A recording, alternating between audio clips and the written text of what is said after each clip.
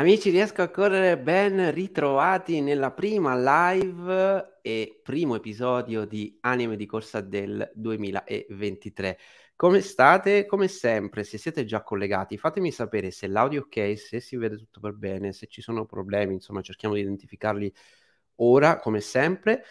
Io sono pesantemente raffreddato, vengo da una settimana di influenza, virus, non so che cosa, non siamo riusciti ancora a scoprirlo, però mi sto riprendendo, però se mi sentite appunto con il naso un po' chiuso e mm, faccio un po' fatica, è semplicemente per questo. Per fortuna ho ancora un po' di voce, ieri eh, non sarebbe stata l'occasione giusta per fare questa live, per fortuna oggi va un po' meglio. Ciao Matteo, ciao Emanuele, benvenuta, e benvenuto Matteo.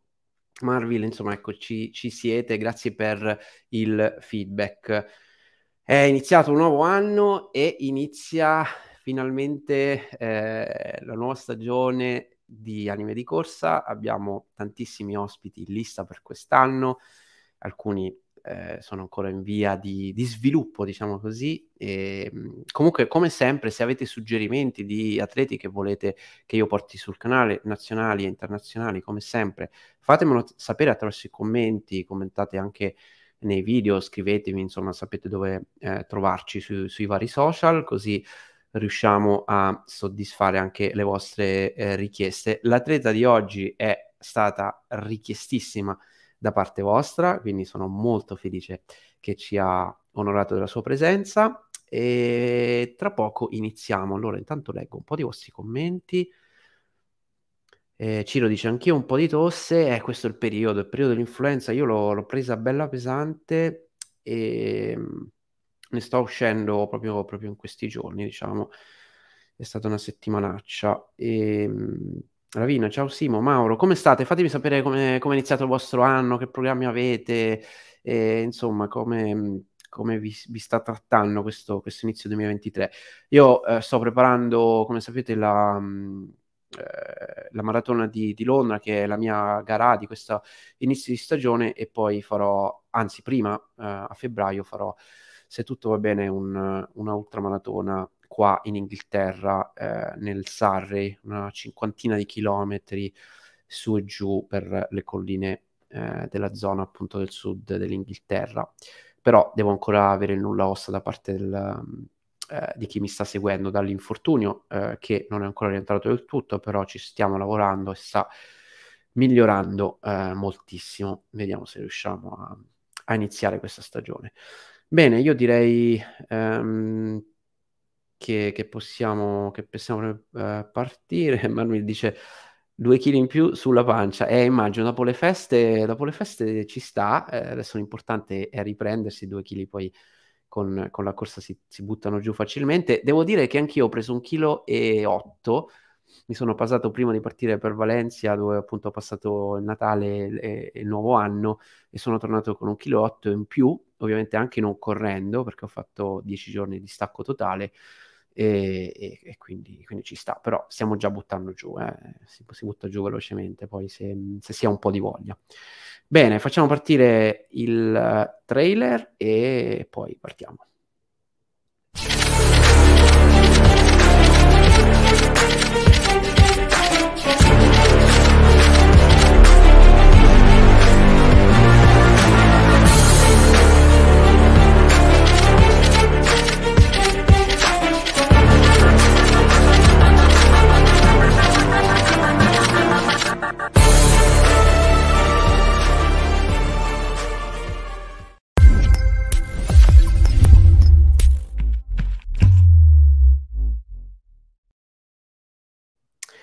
Eccoci qua. Allora, come sempre vi ricordo, eh, soprattutto se siete nuovi, utilizzate la chat per fare le domande senza problemi da ora in poi, quando volete, tanto noi poi dopo torniamo e ce le leggiamo tutte. Poi abbiamo una decina di minuti finale che lasceremo appunto per leggere le vostre domande. Poi io comunque le scorro con l'occhio mentre stiamo, stiamo parlando e magari le domande saltano fuori già eh, in un momento all'interno della conversazione.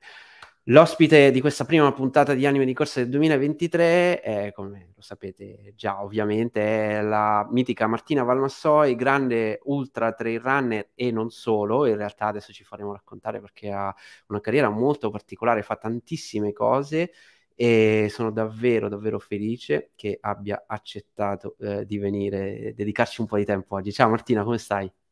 Ciao Simone, ciao a tutti. Io tutto bene, sono a casa e mm, niente, in ripresa e quindi eh, finalmente ho preso, ripreso un po' di colore in faccia, come si vede, ritorna di nuovo lo stacco eh, che è noto ormai, cioè non sono più abituata a prendere sole sul collo e, e quindi niente, sono felice di essere tornata a una pseudo normalità dopo l'infortunio, diciamo.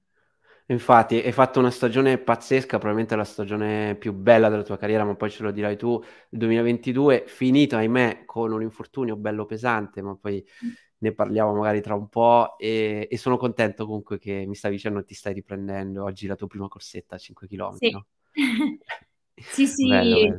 Sono contenta perché avevo provato qualche giorno fa a fare eh, salitina mentre camminavo, fare due minuti un po' di corsa, poi tornare a camminare, eccetera, ero riuscita abbastanza a fare un, un po', una mezz'ora, e oggi sono riuscita a correre 5 km filati in salita, piano, e quindi sì, sono contenta, dai. Bello, bello. Senti, prima di parlare di, di queste e di tante altre cose, ci puoi raccontare un po' chi sei per quelle pochissime persone che non ti conoscono ancora? Ma allora, eh, io vabbè, mh, mm, mi chiamo Martina Valmassoi, sono veneta, sono nata e cresciuta in Dolomiti, eh, in Cadore precisamente, e niente, io da piccolissima ho sempre fatto sport, grazie ai miei genitori che ne sono tuttora super attivi, anzi più attivi di me, e quindi diciamo che o con gli sci da fondo, con le campestri, camminate, arrampicate. Io sono sempre stata in montagna, oltre vivevo in montagna, ma la vivevo veramente, diciamo, grazie a mia mamma principalmente. E, e, quindi niente, io ho sempre gareggiato, prima un po' sugli, sugli sci da fondo, ovviamente l'estate c'erano i cross, i campionati cadorini, le gare del paese, diciamo. E, e poi pian pianino crescendo ehm, mi sono spostata sullo sci alpinismo eh, dopo lo sci di fondo e con quello l'estate ovviamente ci si allena correndo, camminando e ho iniziato a fare qualche gara anche lì. Eh, d'estate però era comunque diciamo il mio ehm, passatempo secondario, diciamo, era un, un più che altro un test per vedere la forma fisica ehm, dopo gli allenamenti che fa- si faceva l'estate.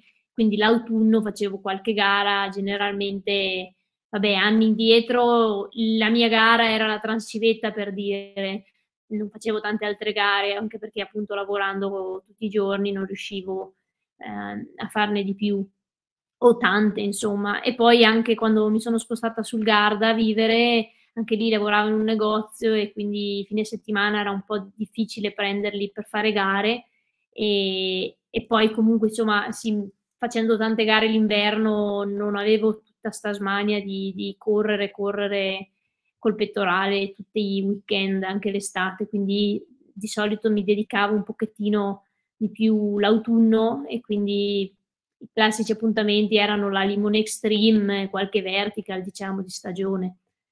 Sì. Che bello, quindi diciamo prima lo sci e poi sei diventata una runner un po' per, per, per forza di cose, perché appunto lo sciatore di solito in estate ha bisogno comunque di tenersi in forma. Diciamo, sì. era un tuo, un... non era il tuo sport eh, principale, diciamo così, all'inizio. Mm, ma no, diciamo che io sono stata dieci anni in squadra di sci alpinismo e quindi... Um, uno cerca, diciamo, più o meno di focalizzarsi su una stagione rispetto che fare tutte e due, specialmente lavorando, dovevo un attimo selezionare le cose. Eh, poi eh, diciamo che la distanza si è allungata con il tempo che avevo a dispos- disposizione per allenarmi. E dal momento che ho smesso di lavorare in negozio mh, giù sul Garda quando ho iniziato il mio percorso con la Salomon, insomma, a lavorare per loro, e da lì ho iniziato ad avere più tempo e quindi ho iniziato a provare ad allungare la distanza, anche perché appunto mi ero accorta che era quello che un pochettino um, rendeva meglio per me, insomma, era, era meglio per le mie caratteristiche. Certo, infatti eh, deve essere affascinante perché tu comunque non l'hai detto, però vai forte anche sugli sci, tant'è che hai fatto un record del mondo poco tempo fa con le sci d'alpinismo, che magari se vuoi ci, ci puoi raccontare. E, e come si fa a scegliere dove mettere il focus? Perché deve essere complicato, no? Scegliere mm, eh. quando si è così talentuosi dove effettivamente spingere. Ma diciamo un po' le priorità cambiano un po' anche dai periodi. Um, sicuramente cioè, ci sta che io ero più focalizzata sullo sci alpinismo nella mia crescita sportiva, diciamo dai 18 ai 28 anni, diciamo, e adesso uh, ci sta che ho cambiato un po' il focus. Poi bisogna dire che sicuramente anche eh, una questione di sponsor, è una questione anche ehm, motivazionale, perché diciamo che l'inverno, cioè io penso di essere comunque una scialpinista più forte che una trail runner. Poi, boh, adesso magari dopo l'ultima stagione posso... Ne possiamo riparlare, diciamo. Cioè, diciamo che io sul trail devo essere, è molto specifica, la, è più specifica la mia bravura, come si dice, il, e non, sì, non riesco a fare bene tutto, neanche con lo sci alpinismo, però eh, se improvviso un vertical con gli sci alpinismo, particolarmente schifo non faccio, anche se sono tre giorni che metto gli sci. Di corsa è un'altra cosa, di corsa io, tu, cioè tutto quello che raccolgo lì, la corsa, devo sudarmelo molto di più. Sarà certo. che appunto eh, non, sì, ho sempre corso più o meno, però non ho passato da atletica e quindi eh, il mio, il mio mh, mm, correre estivo era comunque camminare in montagna con mia mamma, con i gruppi sportivi che facevo sci di fondo e quindi è un pochettino diverso. Eh, però c'è da dire che appunto sui miei terreni eh, ho trovato un po' la mia dimensione, quindi su certe cose particolarmente tecniche o adesso magari tecniche dure e lunghe eh, è abbastanza il mio. Diciamo che meno c'è da correre, più sono contenta. Bello, bello. E ci racconti questo record del mondo che, che hai fatto appunto sugli sci? Come, come Ma beh, lì è uscito molto per caso, cioè nel senso è stato proprio un, um, un record, perché io non sono neanche proprio una grande amante fan di queste cose, cioè soprattutto post primo lockdown che sembravano tutti impazziti con le gare di scalini e il record dei giri nel bosco e giri, cioè a un certo punto ho detto ma non, non avete nient'altro da fare cioè, boh. e quindi boh, sono sempre stata un po' scettica su queste cose questi record un po' improvvisati però dopo un anno dopo una stagione comunque il 2021 ehm, a livello di neve eh, qui da noi è stata veramente la stagione più bella che io abbia mai avuto perché nel 2016 era venuta una, un inverno simile qui a casa, però io stavo sul Garda e quindi non me l'ero goduto, diciamo. E invece così, un po' anche tutti più o meno che dovevano stare a casa o nelle loro zone, era, nevicava tutti i giorni, c'era sempre da battere traccia, c'era sempre da fare una gita nuova. Io non sono mai così tanto sugli sci come quell'anno lì. E quindi a gennaio un po' mi è, dopo un mese che ero tutti i giorni sugli sci, eh, mi è venuto in mente che ho detto ma magari mi piacerebbe fare un test più che altro, ho detto vedere se riesco a stare in giro 24 ore ehm, con gli sci. E poi dopo ho un po' ponderato l'idea di fare, di tentare questo record che sapevo una mia amica norvegese l'aveva già fatto e anche se io non sono amante della pista, era comunque una cosa che potevo fare eh, diciamo in autosufficienza o comunque sì, non, non, non richiede nessuno, non, non sono richieste troppe, non c'è troppa logistica, diciamo, no? Sì, Dopo ho scoperto che ce n'era comunque un po', però soprattutto riguardo al periodo che appunto i vari lockdown, zone rosse, eccetera, ero, stavo diventando matta per organizzare la cosa. però niente, semplicemente è nato dal fatto che ero sempre sugli sci, ho detto ma sì, proviamo a fare un test. Sicuramente so che la, l'endurance ce l'ho, però io più del fino a quel momento più delle, della 90 km di Chamonix di corsa non avevo fatto e quindi erano 13 ore e adesso aspiravo a stare in giro 24 ore.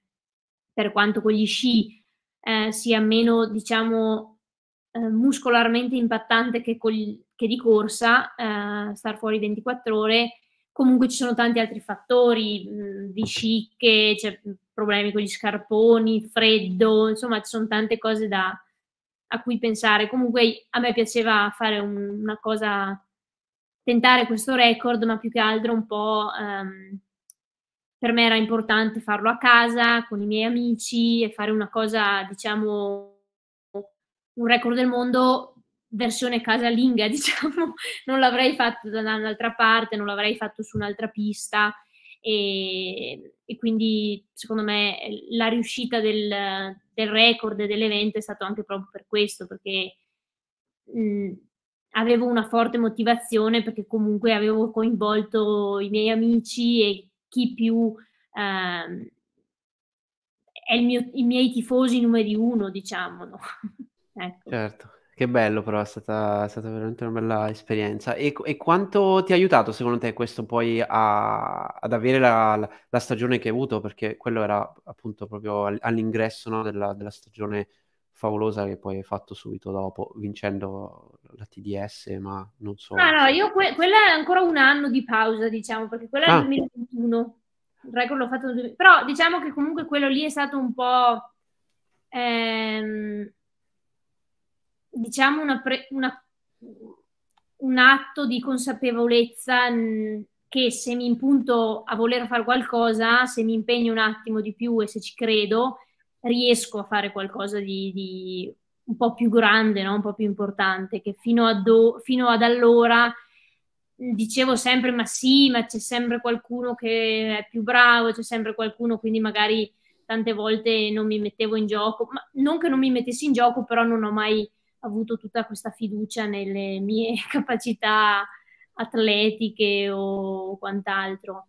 Certo. In ogni caso, io da, da esatto dal 2020, dal, dal lockdown, um, mi ha proprio, cioè, da lì sono sempre stata costante, mi sono sempre allenata, non ho mai avuto infortuni e quindi è stato quello che ha un po' portato quest'anno ad avere una stagione super certo. lasciando stare appunto il Giro d'Italia in bici, che penso che sia quello che mi abbia, mi abbia dato proprio, proprio, tanto quest'anno. Ecco. Sì, sì, adesso magari parliamo anche di questo progetto che, che mi affascina tantissimo.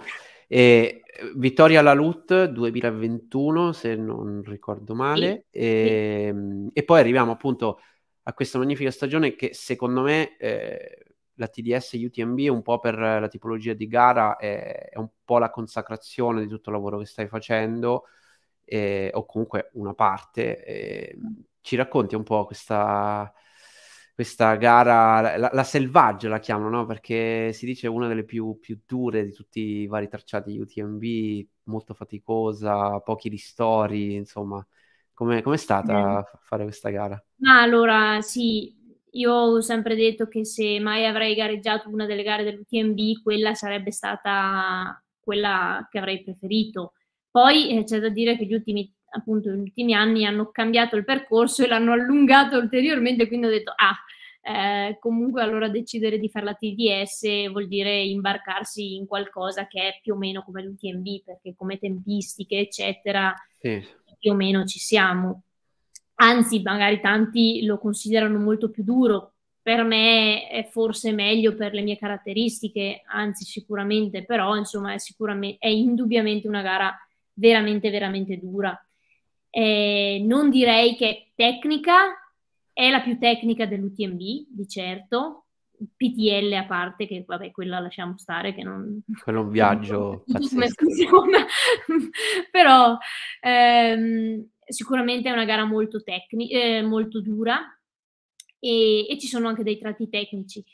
E io eh, era un po' un sogno che avevo eh, dall'anno scorso, l'anno scorso appunto era un po' l'obiettivo che avevo, però comunque era un obiettivo al quale dovevo arrivarci, però facendo anche tante altre cose volevo, a, alle quali non volevo rinunciare. E quindi diciamo non, ave- non, mi ero preparata bene, non mi ero preparata con le tempistiche, eccetera. Avevo pa- fatto appunto questa, mh, avevo provato le qualifiche del mondiale trail, eh, che un po' mi scocciava perché era appunto la stagione più bella d'inverno e fare 70 km a maggio voleva dire appunto mollare gli sci molto prima di quanto avrei voluto e mm, invece, invece insomma mi sono messa a correre però appunto quell'anno c'era talmente tanta neve che veramente dovevi stare basso qua in valle per allenarti quindi era stata abbastanza problematica poi vabbè la, la Thailandia era stata posticipata e poi posticipata l'anno dopo e quindi è stato un po' un, un rincorrersi di, di, progetti che andavano sfumando. Quindi ho detto, vabbè, se sono riuscita a fare 70 km a maggio quasi improvvisati, provo a farne 80 della LUT, eh, altrettanto improvvisati, però io dopo quella gara ero stata un po' male, ma non, non muscolarmente, ma ho sbagliato a mangiare mh, mm, ai rifornimenti, proprio errori che non, non, ho mai più rifatto e non rifarò mai più, spero, almeno con l'anguria, cioè ho scoperto che non, non bisogna ingolfarsi di anguria e vabbè, eh, diciamo è, interessante che... questa cosa, è stata l'anguria che ti ha, che ti ha dato problemi? Mm, sì, però vabbè, non so, beh, perché c'era gente che ha visto un po' i rifornimenti, io ho sbagliato un po' tutto perché appunto ero, lì mi ero veramente totalmente improvvisata. Ho deciso all'ultimo di fare questa gara e ho detto ma sì vado, ho dato un po' di cose in giro ad amici e con la scusa che di solito quando gareggio mi porto sempre un sacco di roba da mangiare, da bere e dopo alla fine finisco la gara che c'è ancora un sacco di cose nello zaino. Allora là ho detto no, questa volta no, mi porto l'essenziale, solo che sono partita troppo tirata col, col mangiare, quindi da subito non avevo neanche dato magari le, le cose che se per caso avevi, avessi avuto bisogno, l'emergenza, diciamo, no, avevo proprio dato il minimo indispensabile, che era molto poco, e, e quindi io ho iniziato ad andare in crisi di fame molto presto nella gara e purtroppo ho dato un'anguria gigante, ho dato mezza anguria al, um, a degli amici che erano al rifornimento di Colgallina, che è tipo 55 chilometro, una cosa così. E da lì è stata un'agonia, perché io mi sono mangiata tutta l'anguria e dopo, cioè, vabbè, lasciamo perdere. L'ho finita, l'ho vinta, va bene, però è stata veramente un'agonia. Finire la gara e poi sono stata male proprio per una settimana, ho avuto febbre e tutto, cioè, perché oh, wow. ho proprio fatto un'indigestione terribile e, e vabbè, però insomma poi con quello ho un progetto in bici e quindi a luglio invece che correre tanto che sarebbe stato eh, opportuno per la TDS o comunque correre per poi caricare a inizio mese di agosto io ho, ho fatto praticamente tutto il mese in bici e, e, quindi quando sono arrivata ad agosto ho iniziato a allenarmi per la TDS che era il giorno dopo della Serzinal dove ero lì a lavorare e, e quindi proprio eh, lì avevo fatto anche un bel allenamento, però non era sufficiente. E quindi, però sono contenta lo stesso anche di, di quella TDS perché ho deciso consapevolmente di fermarmi al centesimo chilometro perché eh, avevo dei dolori, cioè avevo ovviamente dei dolori, però erano cose che magari uno avrebbe potuto portarseli fino all'arrivo, però io ho fatto quegli errori e, e, non ho più voglia di essere infortunata per un anno per, per finire una gara dove eh, so che non ero mh, preparata. e, e quindi lì ho deciso di fermarmi e difatti poi non ci ho messo troppo a recuperare quella, quei 100 chilometri e per fortuna. So, sono quelle scelte che, che, si fanno di fermarsi con la consapevolezza, insomma, che poi si vuole costruire qualcosa di, di, di più grande. Cioè, sì, vale la pena se fossi stata boh, là per la vittoria, così magari uno diceva, vabbè, ci provo, però eh, sì, non ero, ero con Giuditta, cioè non ero indietro così, però era proprio un... ho detto no, è un dolore che non riesco a portarmi avanti per altre come minimo 10 ore e, e quindi ho detto eh, vado sicuramente a farmi male e dopo veramente rischio di stare ferma per un anno e il gioco non vale la candela. Quindi prima ci cioè, sono sempre della, nell'ottica delle idee che bisogna arrivare comunque il più preparati possibile per una gara. Poi appunto posso, possono succedere, può succedere di tutto, però diciamo che se sei un, un po' impreparato e, e sorgono questi problemi, bisogna anche dargli un po' ascolto se hai intenzione di continuare una carriera, diciamo. ecco. Assolutamente. E, ehm, e così arriviamo quindi a, a, alla TDS, quella che invece è andata, che è andata bene. E, ehm, che, che, come sei, sei, partita con la consapevo- consapevolezza di stare bene e quindi di provare a fare un podio? Come, come si affronta di solito una gara di questo genere? Sapendo appunto che venivi da, da già una discreta stagione, insomma, parecchio allenamento. Sì sulle gambe. Eh, eh, sei partita con la voglia di vincere oppure quelle cose si vedono poi strada allora, facendo? Io... Sì, allora, beh, io sapevo sicuramente di essere in forma, eh, di essere più in forma di qualsiasi altro anno, e... però comunque eh, cioè, una gara così lunga è sempre un'incognita, quindi io sapevo che se la gara fosse stata di 15 ore, arrivavo in partenza molto consapevole della mia condizione, sapevo che in salita stavo bene, in discesa non, insomma, non perdevo troppo e che insomma ehm, l'allenamento che avevo fatto e le gare che avevo fatto in, di diverse distanze, sia solo di salita, sky e ultra, ma più corte, eh, avevo visto che insomma comunque come condizione c'ero.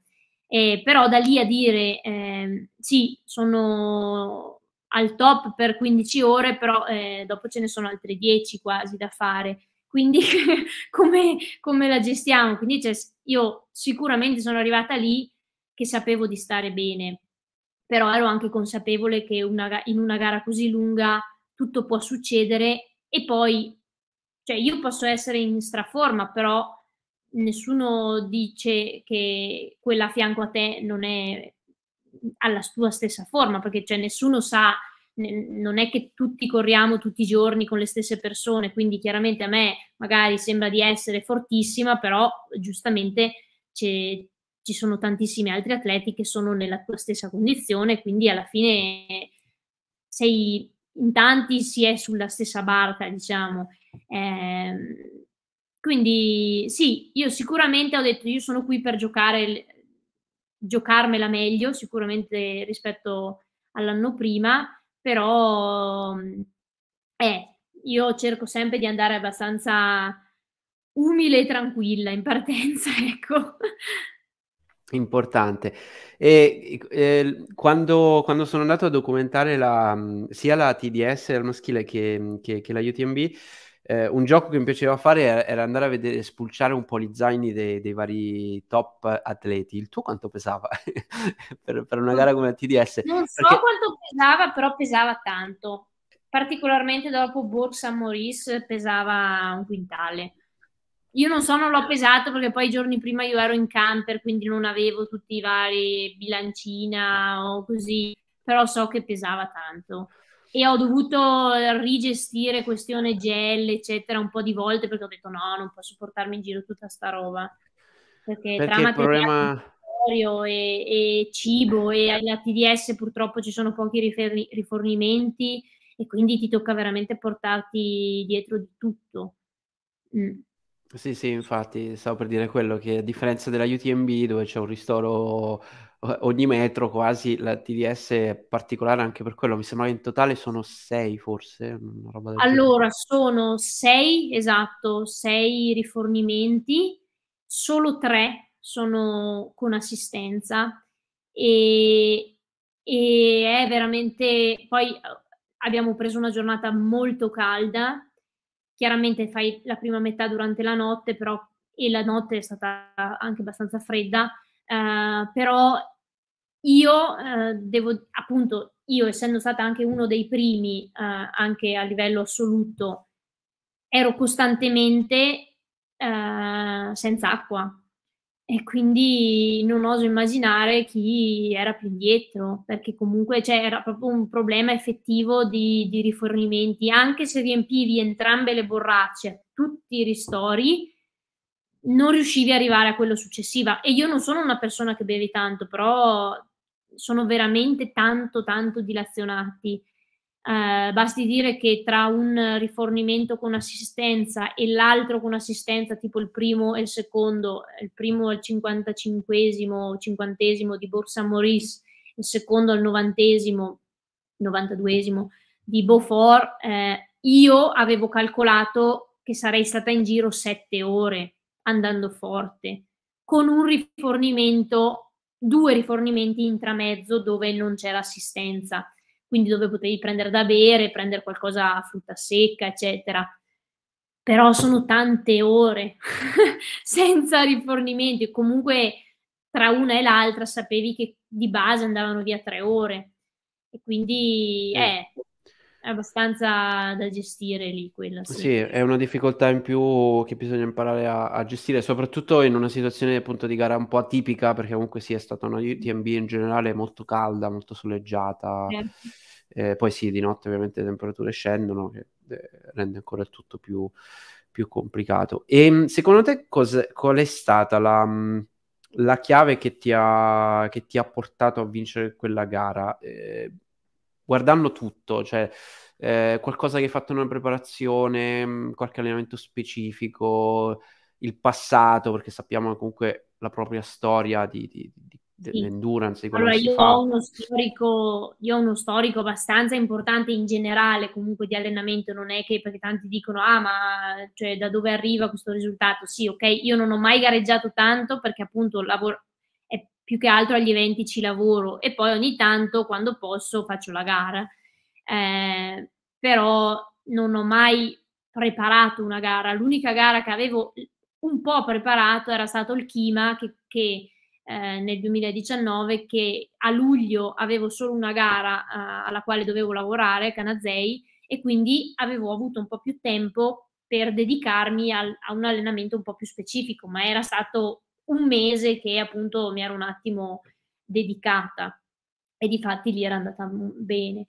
E, e poi di base ti dico quest'anno ehm, la svolta un pochettino me l'ha data questo Giro d'Italia a caso che ho fatto proprio perché comunque ho fatto un volume, eh, volume di ore di slivello e comunque mh, cioè non sono andata in giro pianissimo, però non hai neanche fatto gara. E quindi ho fatto un, un, bel, un bel mese di maggio, 20 giorni a maggio che valevano come due mesi. E quello anche proprio a livello di forza in salita sono proprio cresciuta tantissimo quest'estate. Che bello, Poi, per, per, chi non lo sapesse... Eh, bisogna metabolizzarlo, sì, scusami.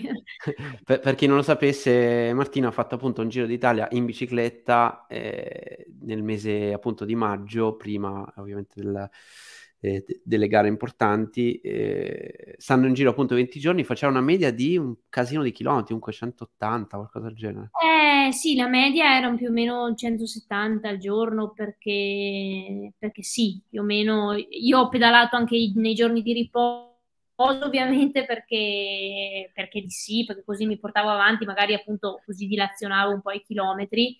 E poi, cioè io ero da sola, avevo i miei genitori sono venuti tre giorni, avevo un altro amico due giorni, però per il resto mi sono sempre dovuta arrangiare eh, con gli spostamenti, che è stato quello particolarmente impegnativo. Il pedalare, sì, ovviamente devi tutte le mattine diventi un automa, anche se hai sonno ti svegli, prendi il fondello da dove l'hai steso, lo asciughi col phon perché ovviamente non si è, non si è asciugato, cioè avevo tutta questa routine che facevo tutti i giorni e volente o nolente dovevo salire in sella e farmi le mie 7-10 ore di, di, di, pedalata tutti i giorni, quindi... Come ti è venuta in mente questa idea? Eh, ma mi ero appassionata l'anno prima, avevo seguito l'Alt Tour di Lackland, ehm, che è questo professionista della Education First, e, però lui, sì, ovviamente lui è un ciclista professionista e, e, e, ha di queste idee, però io avevo proprio seguito questo viaggio e c'è anche il, tutto il video su YouTube dopo, eh, che hanno pubblicato dopo, e, e, mi aveva proprio gasato questa cosa e, e quindi ho detto, ma... Eh, Sicuramente io non sono un, professioni- cioè un ciclista professionista, anzi faccio pochissimi chilometri all'anno, però ce l'ho un po' queste cose così. E ho detto, vabbè, a me non, eh, nessuno mi punta la pistola. Io, a me piacerebbe provare, mh, mm, appunto, come logistica io non sono un, un drago, allora anche mi era comodo semplicemente prendere proprio le tappe del Giro d'Italia e seguire quelle e avevo bisogno di prendermi un, una ventina gio- di giorni di stacco un po' così e ho detto ma sì, eh, perché no? Poi dopo ovviamente avevo tutta un'idea di preparazione e, eccetera che non è eh, andata a buon fine, cioè l'allenamento che doveva portarmi al Giro d'Italia non c'è stato, ho fatto 600 km proprio in, una settimana ad aprile eh, in Toscana proprio così all'ultimo secondo per dire ok, mi sono messa un attimo in bici, però insomma quelli che ho incrociato, che ho incontrato durante il giro mi dicevano ero pa- folla, folle totale a partire a imbarcarmi su un viaggio del genere con 600 km sulle gambe. E, e niente, me lo sono presa proprio come impresa personale, ma mi sono anche molto divertita. È stata la cosa più impegnativa, sono stati proprio tutti gli spostamenti, un po' le logistiche, che dovevo sempre arrangiarmi un po' a capire come fare arrivare alla partenza dopo, eh, il traffico, cioè insomma c'erano state un po' di, di problematiche, però, però sono contenta che alla fine man mano che andavo avanti le cose diventavano più semplici, anche se può sembrare il contrario. Che, che- che bellezza, probabilmente. Sci, sci di fondo, eh, alpinismo, cic- un po' di ciclismo ce lo mettiamo dentro, qualche garetta così di ultra trail, se riusciamo a vincerla, perché no? E, e poi eh, ti sei frantumata o quasi una gamba eh, arrampicandoti eh, po- poco tempo fa, perché è un infortunio appunto fresco, ne fai veramente di tutti i colori.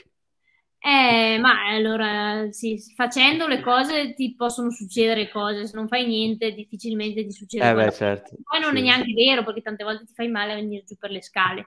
E vabbè, io no. no, ma io parlavo proprio del, del, dell'essere così capace di fare così tanti sport molto diversi ah. tra loro e, e, e, riuscire a godersi la vita appieno, perché secondo me è una cosa, una cosa bellissima. Ma sì, ma a me piace, penso che un po' è quello che mi, abbia, che mi ha salvato un po' di tutti questi anni che con lo sci alpinismo continuo ehm, a fare gare, ma se, senza nessuna aspettativa, anche se poi magari dopo vado bene, eh, però continuo a presentarmi, continuo a allenarmi, ma perché appunto ogni anno io cambio un po' i miei obiettivi, non, ho, non sono troppo statica e se decido che appunto eh, non sono un prof, non sono nessuno, però se ho voglia di farmi un giro in bici lo faccio, faccio giro in bici, non sto lì a pensare, oddio, però dopo se magari mh, mm, mi fa male per la stagione estiva. Comunque penso che se una cosa ti stimoli, se ti, una cosa ti stimola, è giusto farla, se si ha la possibilità di farla, ovviamente. E, e quindi cerco sempre di, ovviamente ogni tanto bisogna arrivare a dei compromessi perché se, non so, so che devo fare un UTMB, so che dov- dovrò allenarmi mh, anche dove non mi piace allenarmi, però è una cosa, dopo anche lì i sacrifici li fai anche volentieri, fai anche le cose do- che sei meno portato a fare o che ti piacciono meno, però diciamo che bisogna sempre cercare un equilibrio. E, ehm, e a me, cioè il non stufarmi è una delle cose che appunto ricerco. È bellissimo. E ti volevo chiedere una cosa, perché mh, tu non, non, non, sei o non eri, quantomeno l'anno scorso, ancora un atleta professionista, perché appunto lavori, fai la content creator uh, uh, e, e, quindi hai un lavoro full time. Eh, quanto, quanto, sarebbe stato diverso secondo te la tua carriera se uh, fossi stata un atleta all'americana ben sponsorizzata, che dovevi solo fare quello. Secondo te sarebbe stato tanto diverso eh, oppure no perché ti piace così? Ma non lo so, sicuramente sarebbe stata un po' diversa perché chiaramente avrei cambiato un po' i miei obiettivi, però eh, magari se mi avessi detto 3-4 anni fa, ok, adesso fai, fai l'atleta, fai solo l'atleta, non lo so, probabilmente sarei rimasta un po' spiazzata, non sarei riuscita a capire un po' qual era la, la mia dimensione, magari tante volte vai a dire, cioè a me un po' la, lo, lo scoglio del lavoro, che comunque chiaramente era un lavoro che, che mi, mi, mi, dava del tempo, perché io ho fatto community manager per Salomon per tre anni e quello che mi ha un po' impegnato di più, perché chiaramente lì è un lavoro sempre col telefono, però insomma devi essere sempre presente e poi agli eventi ero content creator, però diciamo che se sai gestirti il tempo hai tempo a disposizione. Magari per la preparazione di una gara è più difficile perché tante volte magari appunto ci sono delle gare cui, ai, ai, alle quali devi lavorare dove non riesci anche volendo a fare quello che sarebbe meglio per la tua prepara- preparazione. Però diciamo che io mi piace essere approdata al, all'essere atleta quest'anno. Quest'anno gioco la carta, lavorerò a qualche, a qualche gara eh, Golden Trail sempre per Salomon e lavorerò quest'inverno, lavorerò a certi eventi appunto perché a me pia- piace anche avere eh, poter dire che insomma comunque non è la mia cosa, mm, la mia, ehm, come si dice? Unica cosa. Esatto, mm, perché un po' toglie la pressione. C'è da dire che quest'anno sì, comunque è il primo anno che sarò atleta Salomon e quindi anche se per tu- tutti pensano che io sono sempre stata atleta Salomon, invece io no, è il primo anno che ho, che ho contratto come atleta e sono curiosa di vedere come andrà eh, sono, anche, sono sicuramente gasata, un po', eh, ci ho messo un po' a capire se era possibile ritornare a questo UTMB e invece ho scoperto che insomma no, eh, quello che farò quest'anno sarà per poi il 2024 perché l'UTMB io non ho, non ho stones, non ho qualifiche lo scorso anno e quindi wow. quest'anno vedremo Assurdo, non, nonostante la vittoria del TDS de- devi, devi, comunque qualificarti. Eh sì, quindi quest'anno l'UTMB salta e, e, quindi vedrò, spero di riuscire a tornare nella Nazionale Trail eh, per la distanza e, e vediamo, insomma, quella lì è, quello diventa l'obiettivo principale di questa stagione, anche se è un po' presto per me, però il, il, mondiale, il mondiale, dici? Sì. Mondiale di trail a, a Innsbruck. Che bello. Beh, sono, sono, felice per te, però veramente te lo, te lo meriti. Poi hai fatto una stagione spettacolare. Era, era ora, diciamo così. E sarà bellissimo. Prima di eh, leggere qualche domanda che, che è arrivata, che eh, amici, voi, eh, come dicevo, utilizzate i commenti per fare tutte le domande che, che volete a Martina, che io glieli faccio.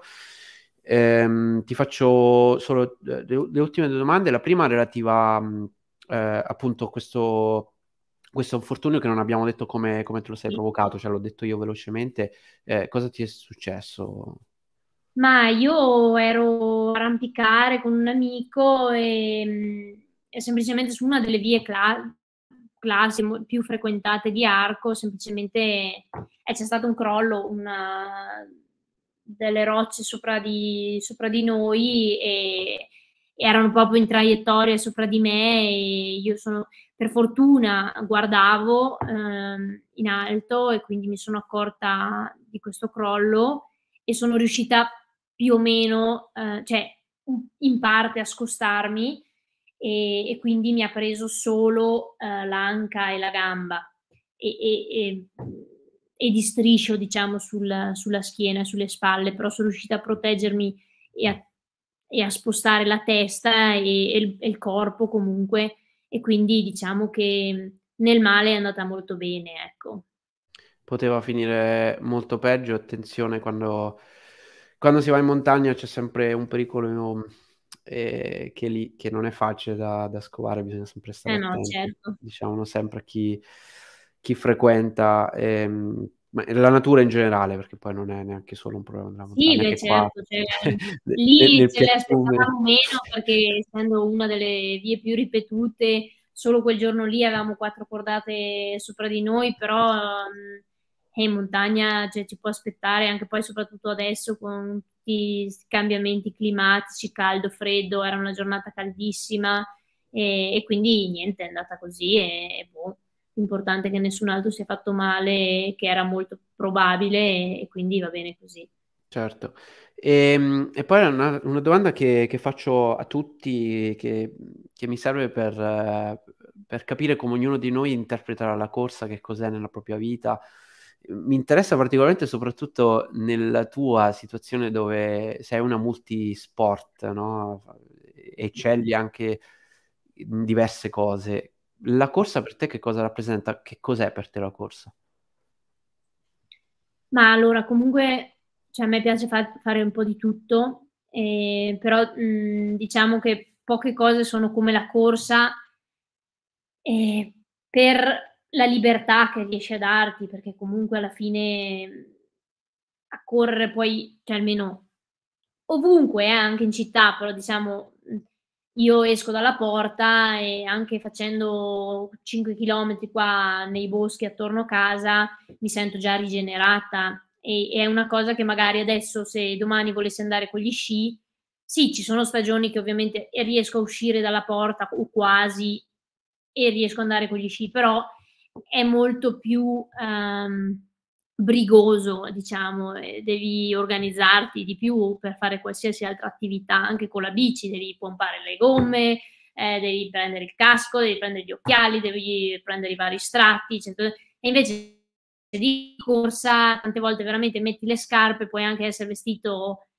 come cavolo vuoi, non è che hai bisogno della, della maglietta all'ultimo grido, le braghe, cioè poi esci e fai la corsa e, e quindi è una delle cose che, che, veramente regala più libertà, è veramente libertà. E poi eh, la sensazione quando poi stai bene, perché all'inizio correre è una fatica mortale, però dopo quando finalmente riesci a, ad entrare a, a farti l'amica, diciamo, dopo veramente ti è una valvola di sfogo anche, quindi anche questi mesi qua, eh, oggi sono contenta che sono riuscita anche a fare solo quei 5 km di corsa perché è, è quel qualcosa che ti bastano 20 minuti e comunque stai molto meglio. Eh, che 20 minuti magari a, cam- a passeggiare intorno al paese, sì, meglio che niente, però sicuramente non ti dà quella, um, quel benessere che, che, lo, che, ti dà la corsa, ecco. Che bello, grazie, grazie mille per aver risposto a tutte le mie domande. Adesso ti, ti rubo gli ultimi minuti ehm, cercando di leggere un po' quello che ci ha scritto mh, il pubblico che ci segue. Filippo Bellini, ehm, complimenti nel 2022, hai fatto un'impresa pazzesca, continua così. Eh, alla domanda rispetto a quanti chilometri di dislivello macini solito in settimana in una tua preparazione tipo, immagino? Ma è, è molto vario, non ho, non, non sono uno di quegli atleti che ha gli standard. Uno, perché mi piace allenare, mi piace appunto fare diverse cose. Due, eh, in Dolomiti qua da me non si può parlare di chilometri, si parla di ore in giro, perché tante volte magari uno, cioè se segue il mio Strava, dice dove cavolo sei andata, hai fatto eh, 7 chilometri, sei stato in giro 4 ore, eh sì, perché, perché insomma dipende anche un po' dai sentieri, quindi diciamo che chiaramente io vivo in un posto dove è quasi impossibile non fare dislivello e quindi eh, diciamo che una media settimi- settimanale di 5.000 metri la faccio sempre, diciamo, più o meno, perché è proprio se ti alleni sei giorni a settimana, sì, magari 5.000 sempre, sempre no, però di media quando mi alleno normalmente ce l'ho quei 5.000 metri che poi possono essere 10, possono essere quando fai il carico per la TDS, ho fatto una settimana che erano 13.000 metri, però lì non è la norma, lì è fare il carico estremo per una gara eh, molto impegnativa. E quindi a chilometri difficilmente sono arrivata sopra i 100 chilometri appunto perché qua eh, è quasi, cioè Mm, ti dico, sarebbe un obiettivo magari riuscire a fare più chilometri eh, quest'anno, appunto perché vorre- vorrebbe dire che cambio un po' il mio modo di allenarmi, magari fare un po' di più di pianura, che è dove comunque soffro di più. Però vediamo, perché comunque sono tutte cose un po' da, da vedere, da gestire, e anche molto pericoloso cambiare, subito, cambiare di molto la preparazione. Quindi sì, soprattutto visto che funziona, cioè io che sì, sì, poi, infatti, guarda, al momento ancora non ho intenzione di fare una maratona, eccetera. So che se farò il mondiale trail sicuramente dovrò un attimo darmi una svegliata anche su tutto quello che è il più corribile e non il solo camminabile, ecco. Certo, certo, sono gare un po', un po', diverse. Ti volevo una curiosità, non so se, se, lo sai, se lo misuri, se lo vuoi dire. Qual è il tuo VO2 max? Magari non ora che sei stata ferma, ma quando sei stata... Uh, ce l'ho, ma non è chissà che alto, non lo so. Eh, posso, se ci sarà un post da qualche parte, posso scriverlo perché ho i risultati di un test, però io quelle cose lì non non le capisco non, non, non, e quindi non riesco neanche a, a memorizzarle perché non ho, non ho, idea di cosa voglia dire e quindi okay, okay.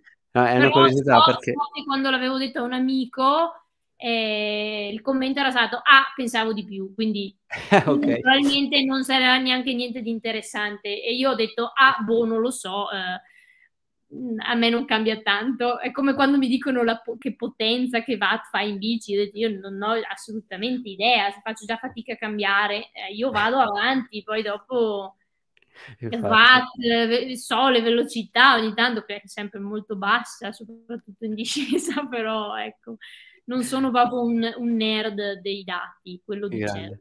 E, ehm, mitico Raffaele, ciao Raffa, e Raffaele Balbini, anche lui è un ultra maratoneta, e chiedeva, e per dormire, perché si riferiva mentre parlavamo del tuo Giro d'Italia, come ti sei organizzata le mh, immagini, Raffaele, poi correggimi se, se sto sbagliando. Sì, eh, ma per dormire mh, ah, ero partita con l'idea che magari eh, mi fermavo in tenda, ho girato due, ho fatto due tappe con, la ten- con il sacco bivacco, eh, davanti e poi ho detto col cavolo, cioè, ma, ma no, no, se, se, porto a casa sta cosa sicuramente non lo farò portando, eh, dormendo in bivacco.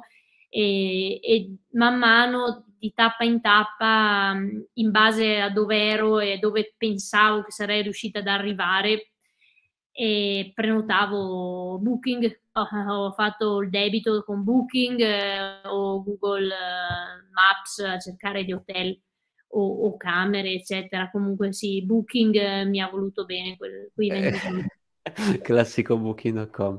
E... Sì, ehm, Matteo ti chiede se faresti il Tor. Ehm... Mm, forse, cioè sarebbe più una cosa da dire...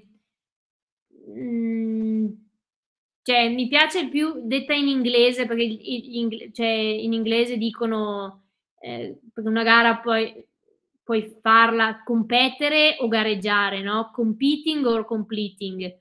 Il, il Tor lo farei più che altro magari per un'esperienza, giusto per dire l'ho fatto, l'ho finito, però presa magari un po' più nelle tempistiche di una camminata estrema, diciamo, no? Non so se avrei voglia di farlo gareggiando, sicuramente non adesso. E, ehm, però non dico no, magari sì, però devo ancora pensarci un po'. Chi lo sa, grande.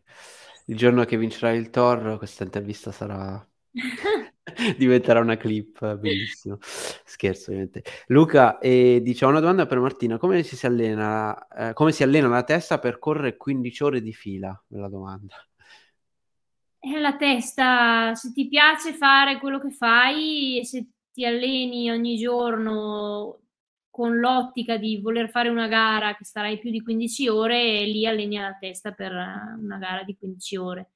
Se non hai voglia, se, se ti spaventa e non sei eccitato all'idea di fare una gara di 15 ore, 20 ore, quel che è, se è solo paura, non è una, la giust- cioè non deve essere l'unico se- sentimento perché eh, la testa c'è dal momento che mh, investi te, te, stesso nell'allenarti, mh, anche non sfinirti tutti i giorni, però nella costanza, la costanza è, è importante per una gara, per le gare ultra. E sicuramente mh, la testa sta bene quando eh, è consapevole del percorso fatto fino a quel momento. Se sai che magari perché puoi anche avere la giornata storta, però se sai che comunque il viaggio che hai fatto fino a quel momento eh, valeva la candela o comunque ti è piaciuto o insomma hai avuto soddisfazione da, dal percorso, poi la gara è un qualcosa in più.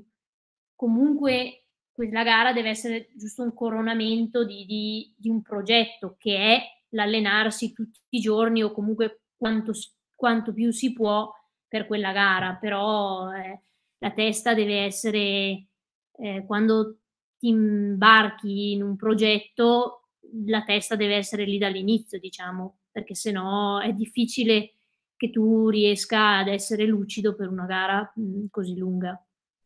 Sì, assolutamente. E, ehm, obiettivi stagionali, Luca Miranda. Eh, è un po' un casino, cioè ho guardato un po' il calendario e sto, mi sto un po' barcamenando. Diciamo che appunto, come dicevo a Simone prima, il, il mio obiettivo sarebbe riuscire a, a, qualificarmi per il mondiale e quindi fare il mondiale. Mondiale a inizio giugno, eh, so già che le qualifiche italiane sono a, inizio ma- a fine marzo e io non potrò essere alla Maro Montana di certo perché a fine marzo non riesco ad, ad oggi con l'infortunio in un'altra, in un'altra annata magari avrei fatto fatica perché appunto scio principalmente l'inverno però ci avrei provato ma quest'anno dubito che sarò alla, alla Mare, Mare Montana perché so che potrebbe voler dire farmi male di nuovo e quindi eh, ho già parlato un po' con i tecnici, insomma, da, da capire, però potrebbe esserci che eh, se poi eh, dimostro il mio valore a maggio in un'altra competizione, però appunto più con le tempistiche ehm, che ho bisogno, il mio posto, potrei avere un posto per i mondiali, diciamo, un po', un po', per storico, insomma, un po' perché mi si dà la fiducia, visto che comunque di solito, cioè, me eh, non mi piace dire ci sono e, e, poi se non sono in forma vengo lo stesso, se non sono in forma sono la prima a stare a casa.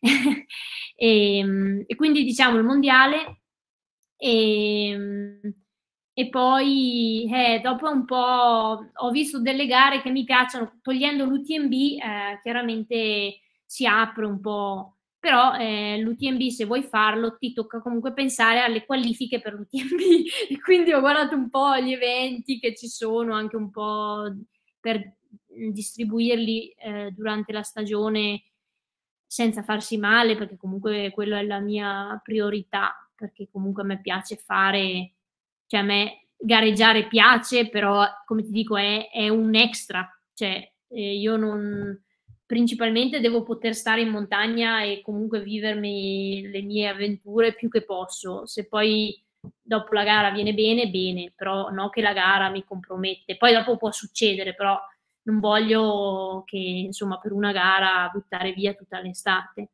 Certo. E, ehm, Avresti fatto guardate... la TDS quest'anno se, se, se potessi correrla o, o, o la UTMB? TDS? Eh, no, no, TDS basta.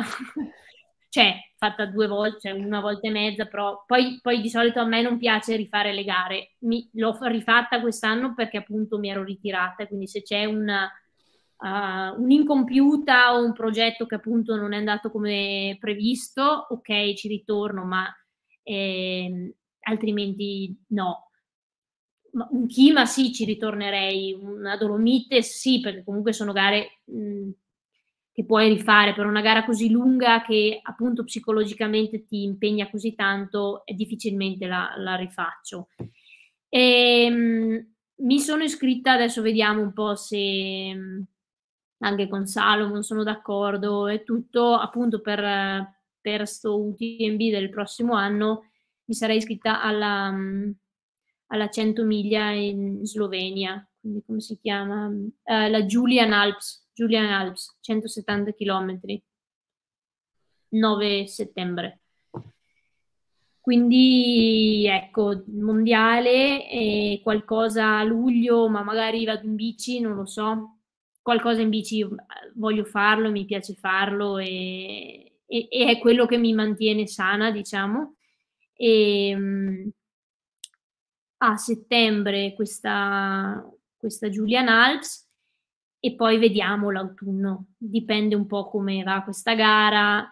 Eh, non mi piace, mi piacerebbe molto andare a, a, Cape Town, mi invitano già da diversi anni, però è tanto tardi e quindi non so se proprio psicologicamente continuare a preparare a prepararsi per una gara e non so se riesco a tirare diciamo ecco i primi di dicembre però non si sa mai, ecco. Che bello, che bello. Eh, lo scopriremo strada facendo, sarà bellissimo seguirti. E ho tempo solo per leggere una domanda, ce ne sono diverse. E intanto è arrivata anche la Sterrato Gang. Ciao ragazzi. E, ehm, pa, pa, pa. Bah, fa- questa dai, che è la più può interessare più a tutti. Eh, grande Martina, i complimenti ovviamente sono tantissimi, poi dopo te, te li leggerai con calma, ma sono veramente una, una marea di complimenti. Eh, come riesci a gestire il carico cercando di evitare appunto di infortunarti? Eh, io come ho detto, da questi ultimi tre anni ho inserito la bici e è quello che mi ha mantenuto sana perché prima ho avuto anni interi che sono stata infortunata dalla bandelletta, tendinite, anche correndo molto meno di, di, di tante altre persone, però correndo e basta mh, mm, ho visto che non è eh, sostenibile, diciamo, per me. Oltre appunto che di testa, comunque mi piace proprio dargli un cambio con la bici o, o camminando o fare, o fare altro comunque. Quindi diciamo eh, lo gestisco così perché io non sono proprio un amante della palestra, anzi proprio odio. Lo sto andando adesso perché chiaramente è una delle cose che, che mi fa più bene perché appunto due mesi ferma ho perso le gambe e quindi la palestra mi fa bene, eh, però diciamo che non appena posso, sono un po' più abile, il, il carico lo faccio con gli sci d'alpinismo, con la bici o di corsa, ecco. Eh, quella è una gran bella differenza per chi... Fare i cambi stagionali per me è importante, cioè non è solo una cosa che non mi piace correre l'inverno, anche proprio per una questione di, di, di longevità. Per me sciare l'inverno è molto importante perché comunque cambi muscolatura, è meno impattante, e oltre appunto a dare un, un, fare una pausa diciamo dalla corsa. Anche se gli inverni fanno sempre più schifo quindi mi ritrovo con i ramponcini a dover correre che mi urta però però ecco. Che bello siamo arrivati alla fine. Martina potremmo stare qua fino a mezzanotte se, se, se, se avessimo tempo e è stato davvero un grandissimo piacere. Ho visto un sacco di, di, di, di, gente che ti ama là fuori, quindi questo è bellissimo. Continua a fare quello che fai e continua a stupirci soprattutto, che, che è Ci proverò. E, e, nulla, ci rivedremo sicuramente in giro, magari su qualche su qualche trail, qualche montagna, qualche certo. gara, manifestazione, chi lo sa, e spero di incontrarti presto. E grazie ancora, grazie a tutti quelli che sono stati qua fino a questo momento. Ovviamente questa live andrà sia in podcast a qualche giorno, ma sarà anche disponibile qua su YouTube per essere riguardata tutte le volte che volete. Grazie ancora di cuore. Ciao a grazie tutti. Grazie a voi. Correte e fate l'amore. Ciao belli. Ciao.